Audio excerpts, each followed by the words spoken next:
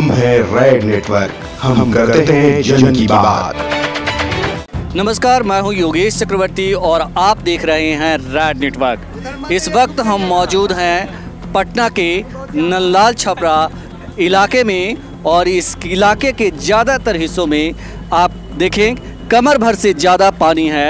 सड़क की दोनों तरफ़ पानी है और ये बीच में जो है नाला है। यहाँ हमारे साथ बहुत सारे लोग हैं जो नारेबाजी कर रहे हैं। इनका कहना है कि सरकार जितनी वादा की थी वो वादा नहीं पूरी की और सिर्फ़ विकास का दावा करती है। आप लोग क्यों नारेबाजी कर रहे हैं? क्योंकि पंद्रह सरकार पंद्रह साल का पोल देखिए कितना दिन में कितना घंटा में खुला पंद्रह घंटा मात्र बारिश हुआ। और देखिए पंद्रह साल का पोल कितना देर में खुल गया जो हर घर नली गली जो योजना था वो देखिए हर घर नली गली योजना में पानी पहुँच गया। यही ना हर हर हर घर नल जल योजना। नल जल नल जल योजना था जो तो घर घर तो पहुँच गया देख लीजिए सबके यहाँ देख लीजिए जो भी था खुल गया। बिहार में दारू बंद हो गया बालू बंद हो गया गुटखा बंद हो गया। लेकिन खैर तो दारू तो मिल रहा है देखिए यहाँ बोतल मिल रहा है लेकिन पानी बंद नहीं हुआ इनसे। नाला का जो है सिस्टम अभी तक बंद नहीं हुआ है।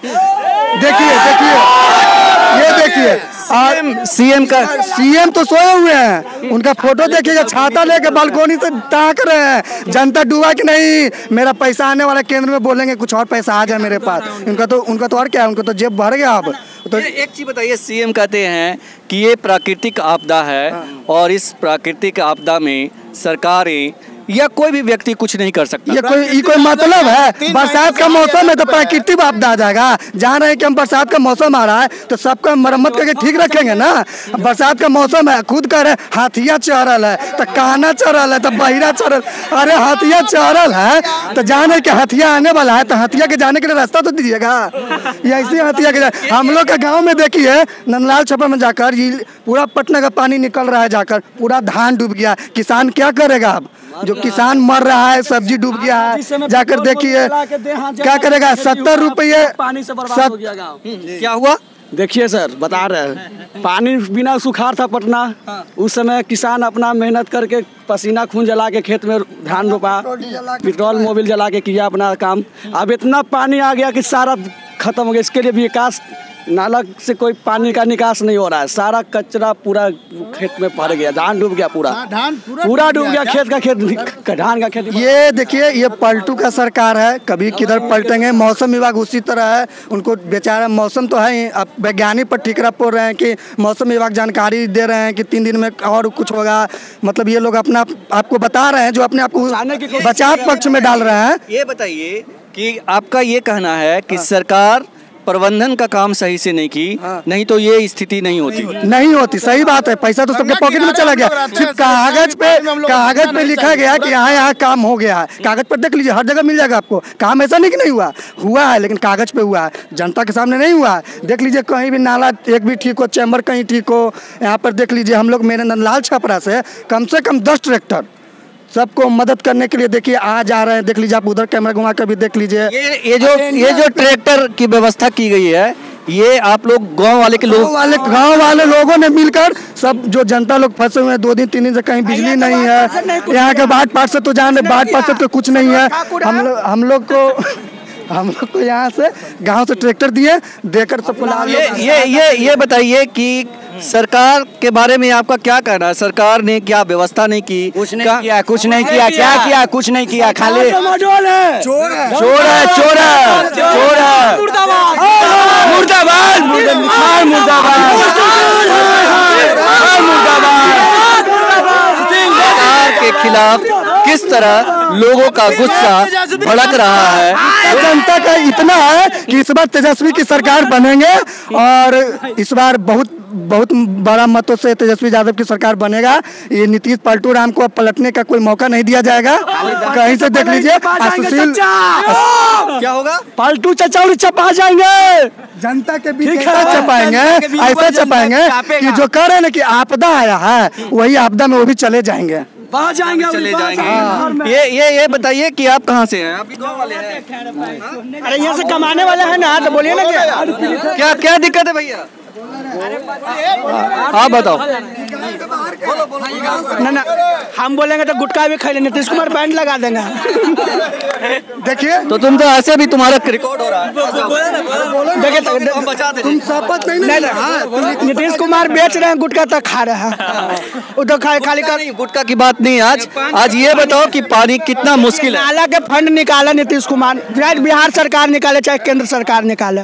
ये सारा ठप्पा ठप कर दिया। कोर हिंदी में जैसे की कि जेसीबी लाया कोरा अभी चलिए हमारा चकासो गाँव है।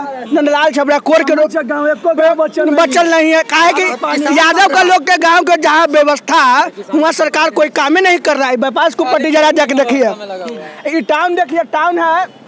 पानी जैसे बढ़ रहा है। मार्केटिंग क्षेत्र है हम लोग। अन्य के धान डूब रहा है। तो किसान ओकरा पर तो कोई ध्यान नहीं है किसान पर। सुखाए है। कहे की सुखाए घोषित लावेंगे। किसान को निकालना है पानी निकाल रहा है। अरे किसान को भी ध्यान दीजिएगा ना। पानी पानी निकल पाएगा ये। नहीं निकलेगा। हम लोग का गाँव डूब गया। चलिए ऊपर तो उस तरफ़ चलिए दिखा देते हैं आपको। चलिए पहले उस तरफ़ लाइव दिखाइए। सुशासन बाबू का पोल आ, आ, आप भी इसी गाँव हैं? नहीं हम हाउसिंग में रहते हैं यहाँ। तो कितना कितना मुश्किल है जीवन? जीवन अभी ऐसा सिचुएशन है कि दो दिन से ना पावर पावर है ना पानी की व्यवस्था है पीने के पानी के हम लोग लाला है ना कुछ खाना है ना कुछ।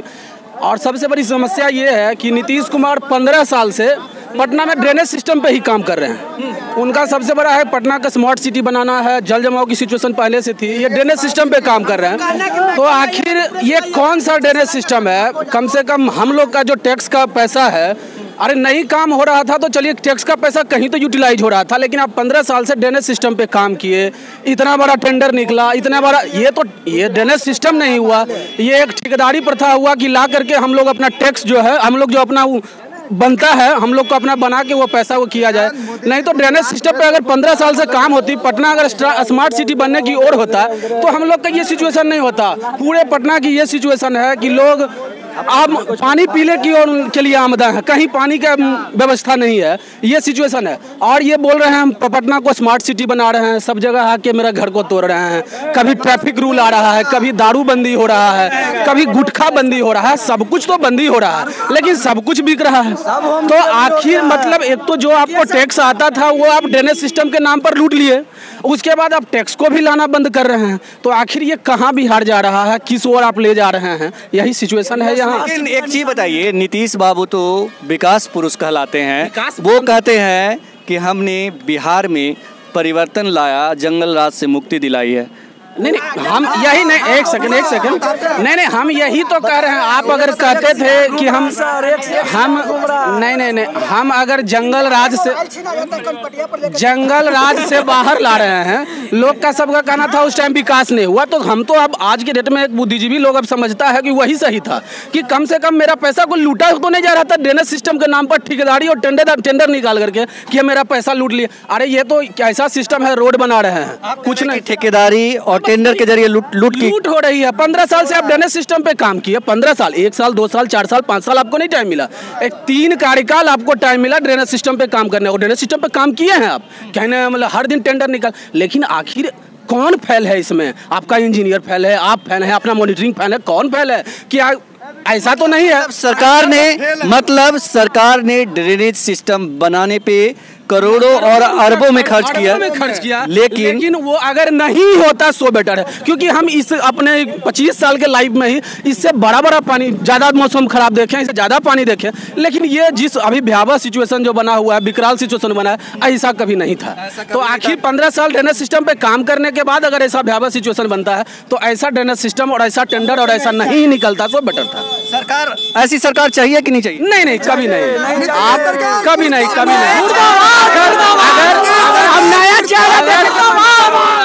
अगर एक लोग आज हम लोग सब लोग बुद्धिजीवी लोग, हम लोग बोलते हैं कि पढ़े लिखे लोग हैं। कि भाई, एक जंगल राज से हम लोग निकले हैं। उस टाइम बोला जाता था कि लालू जी बोलते हैं कि, या कोई भी बोलता है कि पेपर नहीं पढ़ता था पेपर मीडिया नहीं था प्रिंट मीडिया नहीं था।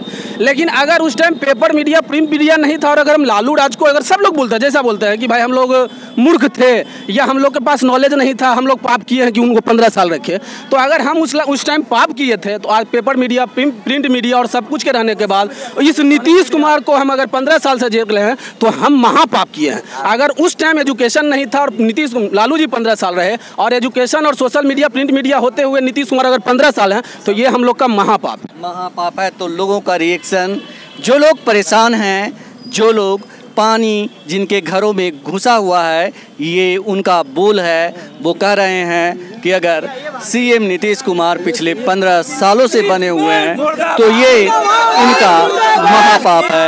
योगेश चक्रवर्ती। राज नेटवर्क नल्ला छपरा।